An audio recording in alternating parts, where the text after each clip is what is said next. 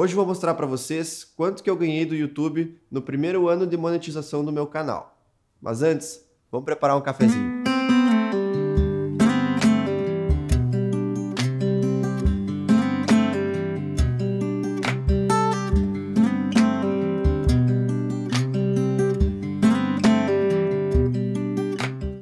Então, meus amigos, vamos olhar aqui a minha receita do AdSense no primeiro ano. Então aqui nós estamos na página inicial do meu canal no YouTube Studio.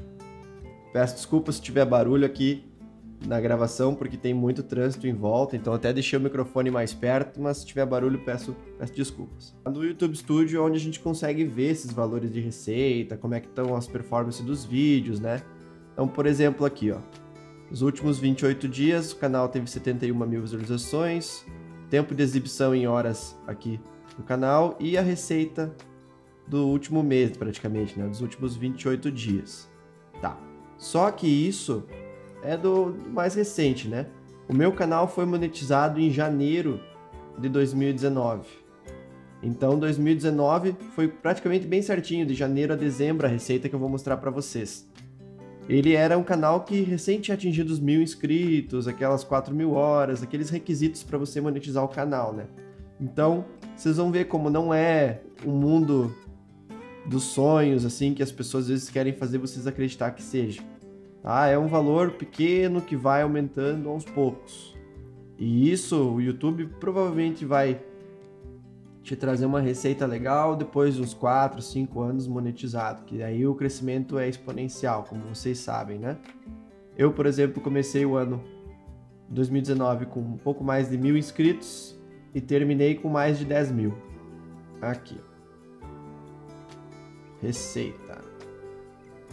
Primeiro eu vou mostrar o período de 2019 para vocês, depois eu vou mês a mês para a gente ir entendendo, quer ver? Ó? Então, olha só. A minha receita estimada em 2019, 847 dólares com 98 centavos. O YouTube sempre paga em dólar. Então, você tem que ter uma conta no Brasil que receba esse valor em dólar através do IBAN, né? Precisa do número IBAN lá para você fazer a transferência. CPM é o valor que oscila conforme a quantidade de anúncios que tem para os seus vídeos. Então, um período que tem muitos anunciantes, o CPM sobe, um período mais baixo, o CPM desce. Isso aqui é o valor que você recebe a cada mil visualizações dos anúncios. Então, por exemplo, se mil pessoas visualizassem um anúncio no meu vídeo, eu ganharia 2,37 dólares, tá? Mas isso aqui é uma média do ano de 2019, conforme o ano vai variando. Então, vamos fazer o cálculo de quanto que seria esse valor na cotação de hoje do dólar? Então, 847 com 98 vezes 4.40, que é a cotação do dólar atual. 3.731 reais. Então esse aqui é o valor de primeiro ano do YouTube para mim. É um valor pequeno, né? Mas para o primeiro ano de YouTube, sendo uma coisa que eu estou fazendo pouco, ou seja, menos de uma vez por semana eu estou postando vídeo, pelo menos em 2019 foi assim, é um valor bem interessante, né? Para ter uma, uma graninha extra aí. Então, bacana. Agora, aqui a gente tem os vídeos, ó, a gente ver isso que eu falei para vocês, ó. Um vídeo publicado 4 de janeiro, o outro 13 de janeiro, 22 de janeiro e 28 de janeiro, tá? Foi até o mês bom. Mas aí, fevereiro, nada, ó, não postei nada. Então, vocês verem como poderia ter ganho muito mais se tivesse sido mais consistente, né? Março, 5 de março, um vídeo, 26 de março, outro vídeo. Então, março, somente dois vídeos. Abril, 15 de abril, 25 de abril, dois vídeos. Maio, um vídeo. Junho, um vídeo. Dois vídeos, três vídeos. Quatro vídeos, ó. Junho, já foram quatro vídeos E olha aqui já a diferença do crescimento da receita, ó. Então, aqui vinha bem baixinho, ó. E aí o crescimento da receita no mês de junho, que é quando eu postei mais. Então realmente dá uma diferença bem grande, né? Julho. Pelo jeito nenhum vídeo. Agosto. 2, 3, 4. Então, quatro vídeos de novo em agosto. Setembro. 1, 2, 3. Outubro. 1, 2, 3. E novembro. 1, 2, essa loucura aqui, ó, esse pico de receita aqui, ó, que em um dia eu cheguei a ganhar 28 dólares. Isso aqui é aquela loucura chamada Black Friday, que o pessoal enlouquece.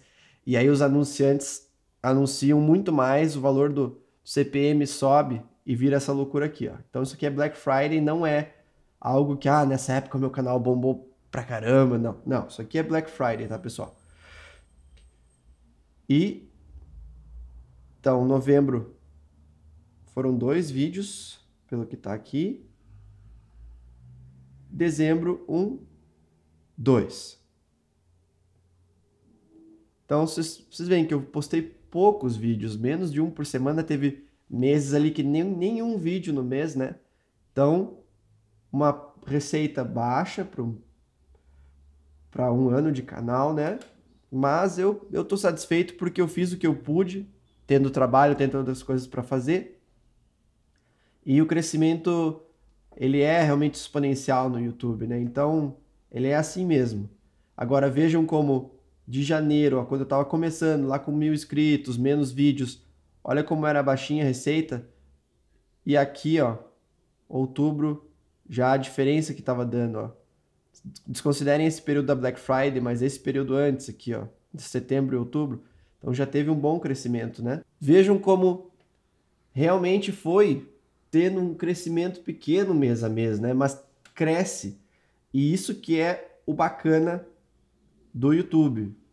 YouTube não é uma corrida, o YouTube é uma maratona.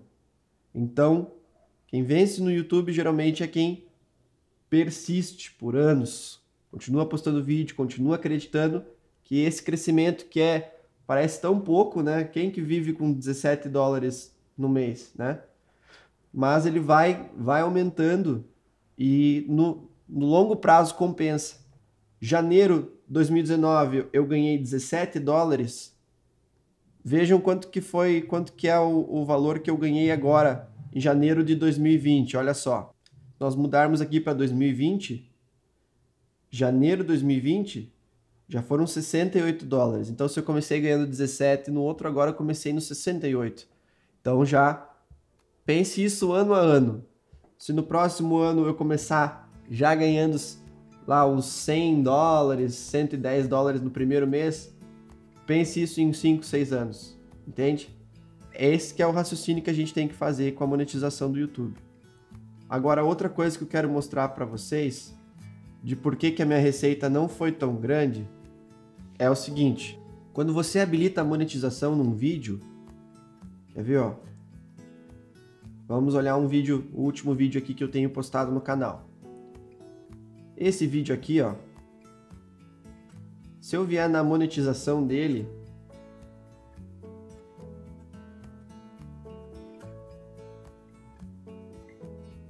vocês vão ver que dá para escolher os anúncios que você quer e a quantia de anúncios, né? E uma coisa que eu não faço, ó, eu não coloco cards patrocinados porque eu acho que polui demais. E eu também não coloco anúncios durante o vídeo. Eu não gosto que vocês estejam no meio do vídeo e o vídeo seja interrompido por uma propaganda. Então eu quero que vocês, quando estão assistindo o vídeo, vocês consigam ver ele num contínuo até o final. Entende? E isso é uma coisa que alguns criadores não dão bola, que eles, claro, eles precisam ganhar, alguns vivem disso, né? Então eles colocam anúncios durante o vídeo e aí você é interrompido duas, três vezes num vídeo para ter novas propagandas. E a pessoa, claro, vai ganhar o dobro, o triplo, porque vai ter muito mais anúncios visualizados, né? Mas isso é algo que eu não quero por enquanto, pelo menos. Eu quero que vocês tenham uma experiência de começar o vídeo. É um vídeo da Tesla, o vídeo tem 20 minutos. Não quero que passe 5, 6 propagandas. Quero que vocês consigam ver os 20 minutos para realmente pegar aquele conteúdo e absorver bem e ter uma experiência legal, né? Mas isso também justifica porque a minha receita não é tão grande. Espero que vocês tenham gostado. Deixe saber nos comentários o que vocês querem ver a seguir e a gente vai conversando. Combinado? Um abraço, até mais!